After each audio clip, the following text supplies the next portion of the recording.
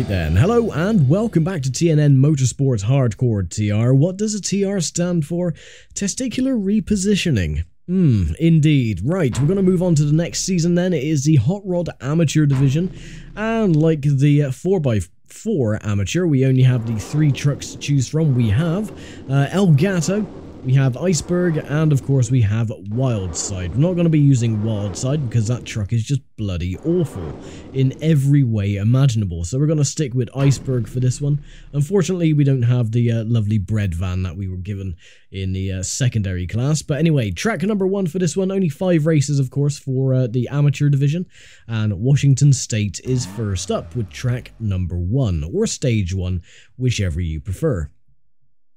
I like calling these stages because they, they look more like rally stages than proper race tracks, but again, that's just me. So, uh, yeah, here we go then. Race number one, and away we go. I do believe we have the monster truck to contend with on this one, or it could be the... Oh, lovely. And again, you tap one of the trucks and you go for a spin because it is incredibly fair. Yes. Um, now, this stage was the one that caused me problems last time when we were here. Of course, this is the China stages from MPR.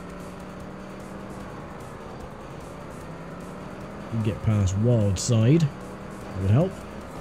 And this awful bloody thing. Oh, there's the monster truck. Is that the monster truck or is that the other pickup? Can't see from back here. All the trucks look the same at a certain distance. No, that's just a normal truck, so that's fine. No monster truck in this championship then. There's a bread van, of course. Oh. Again with these sensitive controls.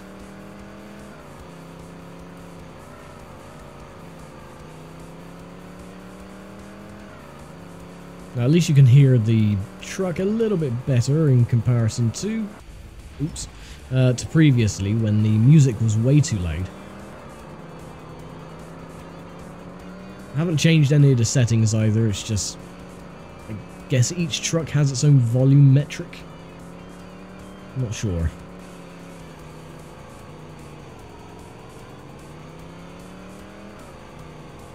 And as I mentioned previously as well, these races are of course three laps instead of the usual two, so It'll be a little bit of an elongated video.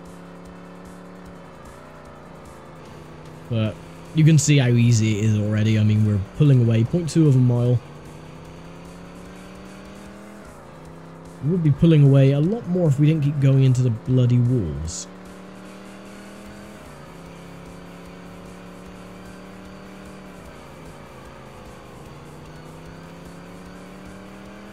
Of course, coming to the end of the series now, this is the penultimate episode of TNN Motorsports, which can't come soon enough, to be honest. I'm, uh, you know, after playing through Max Power Racing and then playing through this one, and the only real difference is, is the scenery in some of the stages and uh, the trucks.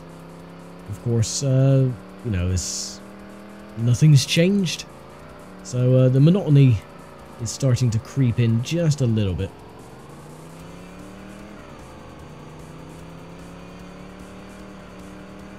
Half a mile ahead of second place.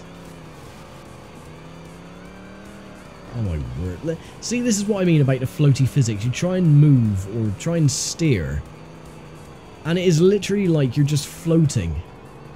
You have no control at all.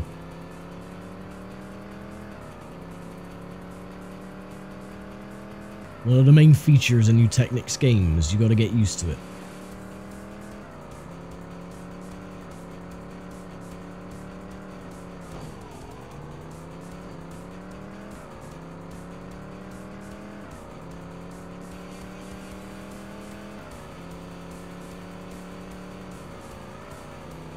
Ooh, and there we go again.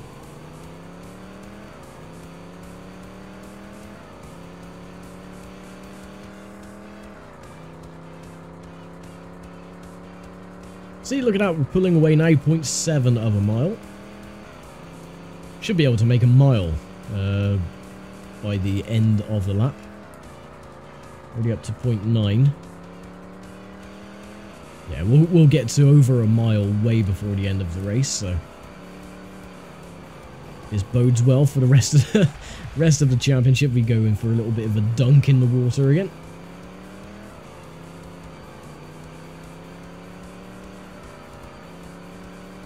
Okay, we won't... Oh, I don't know, we might make it to a mile, but after going in the drink, probably not. Especially not if we're going to keep wobbling around on the grass embankment. Nope, not a mile, but very close to it anyway. We got to point 0.9. And we roll the car at the end. Fan bloody tastic. Right, let's get us uh, a good enough thumbnail then for this series if the camera didn't keep going on this one. Hate this camera view, and you can't really... I don't think you can change the view either. You have to wait, and wait, and wait. that's a semi-decent-ish view. What the other trucks really in in shot? Like an action shot, so to speak. No, and again, it goes back to this bloody side-on view. Stupid game and its stupid bloody camera angles.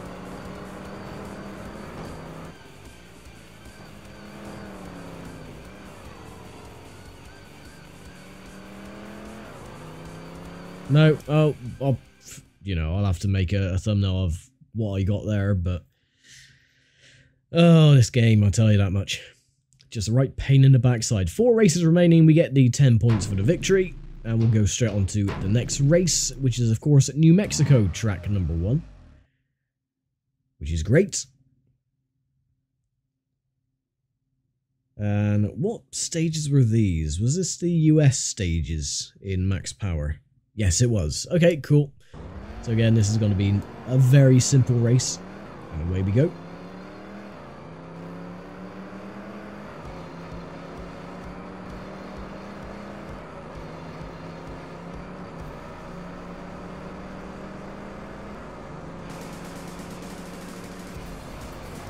I'm sure this this entire game you have like three music tracks throughout the entire soundtrack.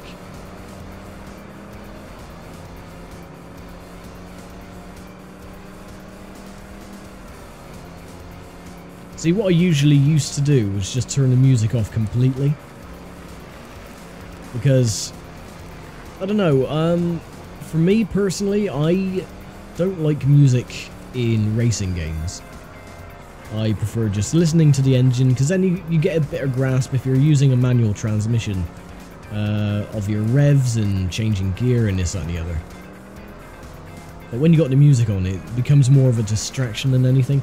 On arcade racers like this, it's absolutely fine. You know, you don't have to worry about it. But when it comes to... Oh, oh just avoided water. Uh, oh, we're to roll anyway because of the bloody physics. Bye. Um, but yeah, when Sims are involved, then yeah, I have the, you know, is it's ideal to have the music off. But it, it's just down to preference, really. But the music on this game is very boring. Like I say, it feels like there's only three tracks in the entire soundtrack. Right, lap one complete. I haven't got a huge lead on this one.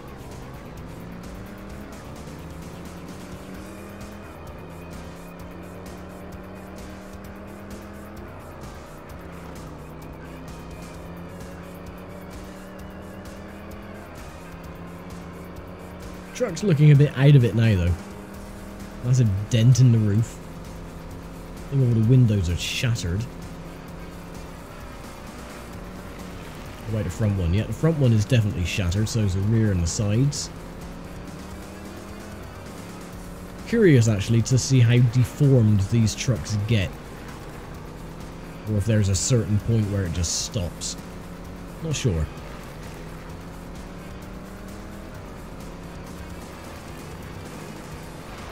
Ooh. Good, didn't go in the water. See, we're not pulling away as quickly this time.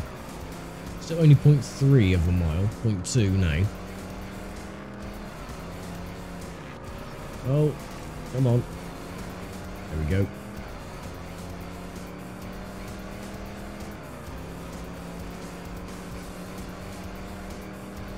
I'm curious. That looks like a shortcut. If you go... As soon as you hit the tarmac section, on the left-hand side, there's like a, a little ridge. And it looks like a... I don't know, it looks like a train um, tunnel. I'll have to uh, check that out in my own time. Whether that is a, a little shortcut or not. Because some of these tracks do have shortcuts. Um, you just have to find them. I'm curious now whether that is a, a shortcut or not. Or maybe I'm just going completely insane.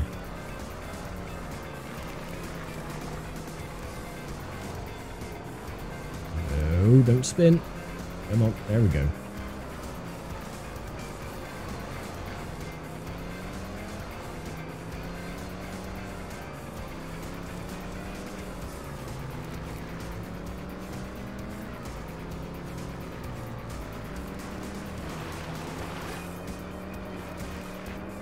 Oh, know. Over we go again. Goodbye. Into the drink. See, usually it would make me nervous because going into the water was a no-no in the, uh, the European games. See there. Train track. Goes into a tunnel, but I don't know if that's a shortcut or if it's just there for aesthetic purposes. But, but yeah, as I was saying, going into the water in the European version, of course, that was game over and you didn't score any points whatsoever. But no, a lot easier in this game. You don't get any game overs or anything like that. It's just pop you back onto the track and away you go. So two wins out of two so far. 20, 10, 10, 5, 5 and 2. Everyone is fairly close. And Oregon track number one. Oregon, Oregon. However you pronounce it. Well, of course, it's Oregon, but dialect, regional dialects, they uh, say it differently, I guess. I don't know. And here we go for the UK stages. Even though on the thumbnail on the loading screen it showed like mountains and snow. I don't see any snow. Bread van trying to get in my way and cracking my windscreen, or my back window.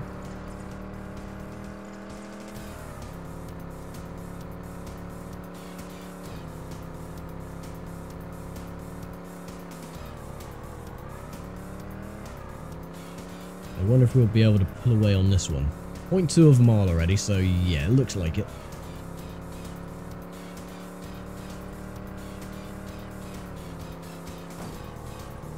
Look at the deformations of the scenery. Just popping in. Popping in, disappearing, deforming. All that lovely stuff.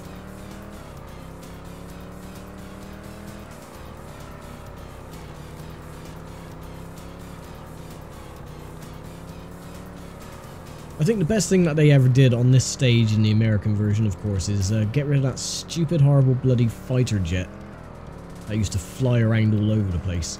They've taken that away on this one. It made a really weird noise. It was like a... I don't know, it sounded like a bulldozer of some description. certainly didn't sound like a fighter jet. Okay, after one lap, we are almost a mile ahead already. God knows what they're doing.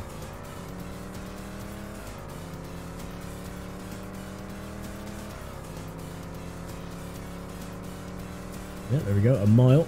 So this could potentially be the uh, largest gap that we've won a race. I think the biggest so far was 1.5 or 1.4 miles uh, during one of the arcade races, but we're up to that already. 1.3 miles, 1.4. might even get up to 2 mile distance.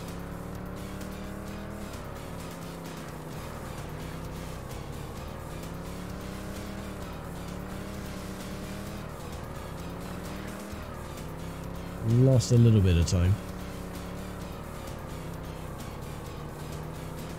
One thing I've never done on this game, whether it be this one or Max Power Racing, is lap any opponents. Of course, it's easier, I guess, on max power because if the, you know, if there is a water feature, then the AI can fall into that and retire from the race. So I guess that's classes lapping them, but not quite because they're just removed entirely from the map. So, um, I don't think it's going to happen. Obviously, these maps are way too big, but yeah, to lap an opponent, I don't think. Well, no, I've never lapped anyone on these games. Would be nice.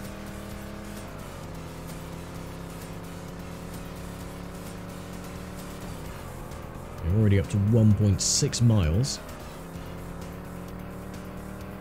1.7.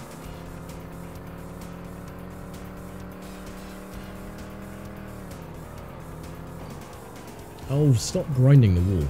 That's another thing as well. With the floatiness of the physics, the, the car slides.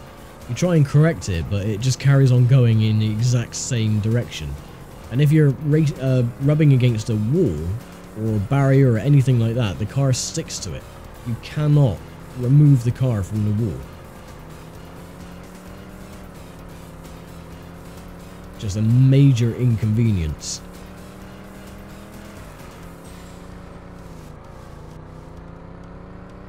I'll go on the top path this time.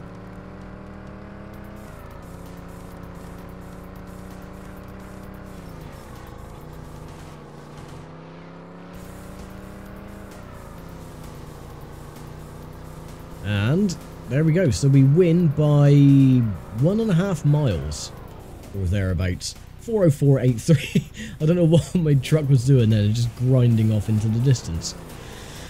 Oh well, there we go. Three down, two to go for the amateur division. I don't know why they call this one Hot Rod, because it's certainly not Hot Rods.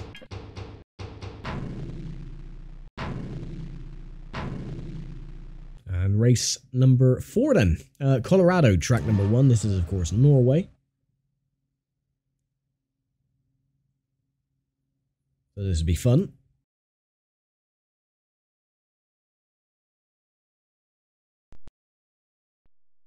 And of course a lovely beautiful skybox as always.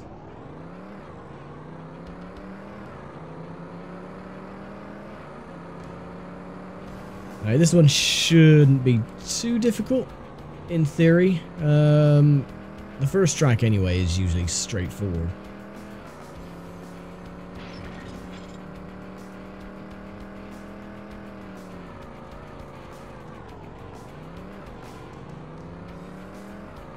At least these uh, roadways have a bit of grip to them. They're not covered in snow unlike stage 3. Again, that snow is just there for aesthetics. It doesn't actually change the way the car handles as such. Because whether you're on a complete normal tarmac road or it's covered in snow, the car still handles like garbage anyway because of the floaty physics of Eutechnyx games. Which pretty much, they all feel like you're driving on snow and ice anyway. Even like on Total Driving when you're in the, the sand dunes in Egypt, you still had that floatiness where it felt like the car was driving on ice.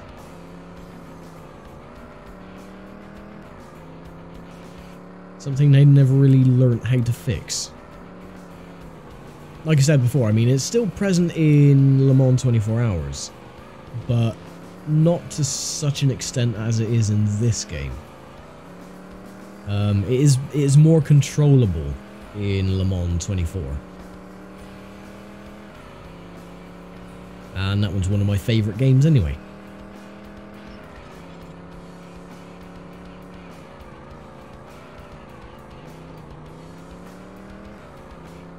Not the biggest of leads. Only half a mile.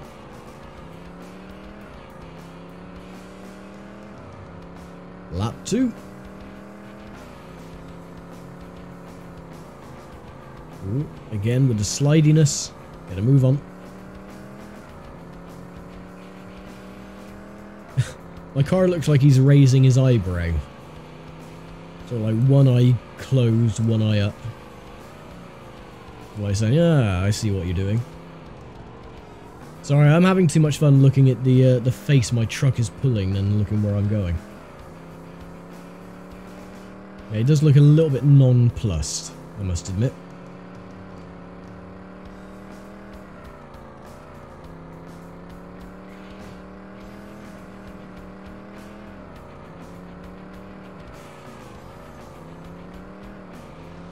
That's a chalet sliding around corners.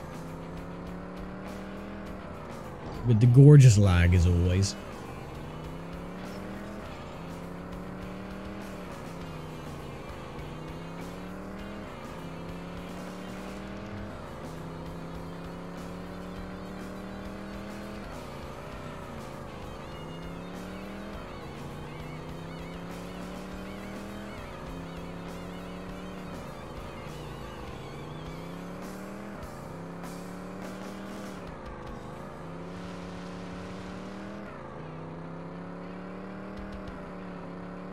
Pulling a huge margin on this one, only 0.3 of a mile.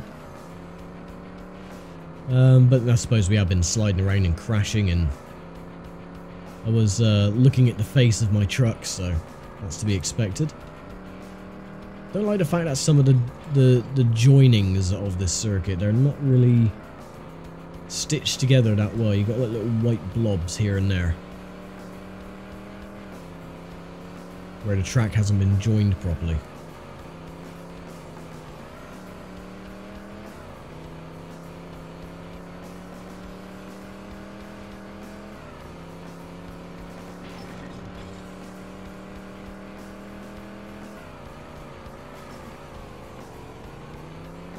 Oh, we pulled out a, a, a 0.8 of a mile lead. Where the hell did that come from?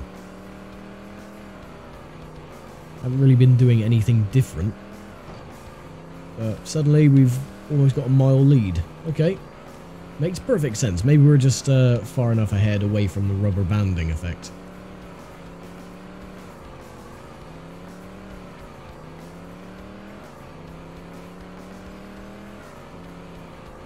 Now, there is a game I uh, played recently um, called Nash Racing. And I will be doing a, a one-off of that game, um, talking about the floaty physics, or the, uh, the slidey physics, like you're on ice. That game in itself would be more akin to an ice racing simulation. Um, it's not, obviously. It's it's about supercars and this, that, and the other. There's no real premise to the game. It is literally a, a tech demo um, with a few assets thrown in here, there, and everywhere.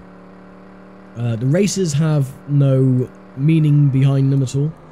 Um, you cannot lose the races because the AI spin pretty much on straightaways. That's how slidey it is. Um, the cars have no grip. Uh, there's a lot of bugs um, and this, that, and the other. And it is a hilarious game just because of how bad it is. And uh, I will be doing a one-off of that in the near future. But of course, that's another race done. And we don't have to impart a name, only done it the once so far. 40 to 20, 20, 11, 8, and 5. So we've won this championship. Only one race to go. And we're in SoCal for uh, the last race. Or uh, Monaco, as it is known.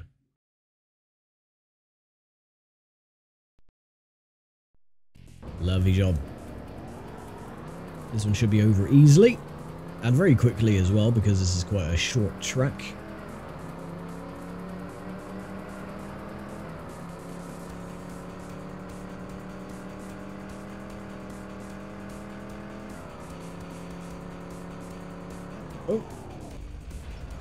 That was me overcorrecting the slidiness of the car because it was sliding to the left.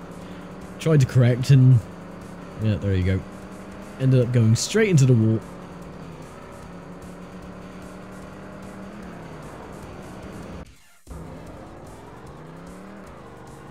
Again, I'm not doing very well on this one at all.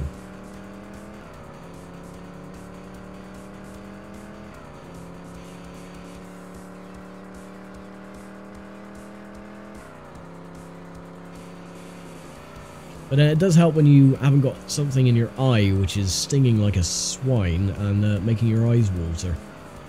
So I can't see where I'm bloody going.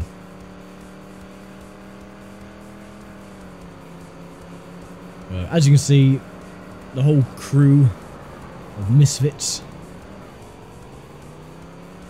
are uh, just ahead, so winning this race shouldn't be too difficult.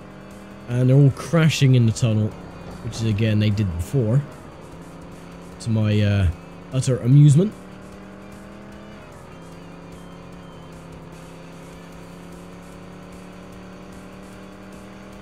So second place is leading by 0.2. In fact, there he is.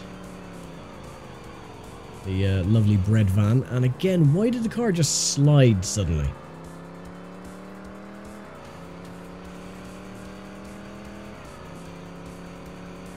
Right, this time, don't go into the center of the bloody roadway, you dweeb.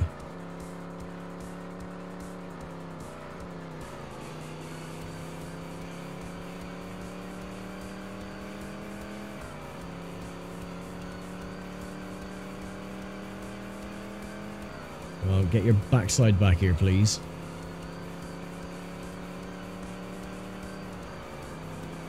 Oh, and there's a leader as well. Fantastic, okay. Two birds with one stone. If I can get past a bread van.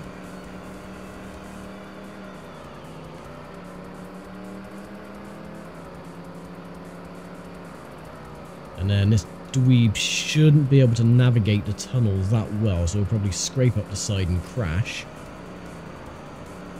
Oh, he didn't. Okay. He's learning.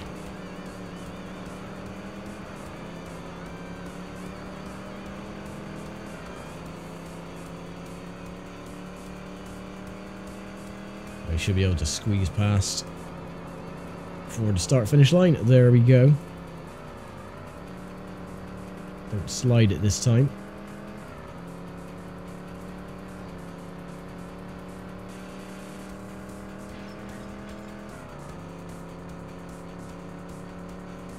I love the reflections on the water of the boat as well. It's just literally a second boat rendered underneath. It's bloody terrible.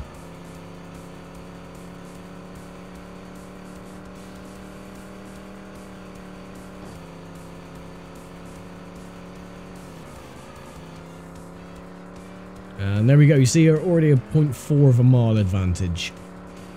We've literally only just taken lead.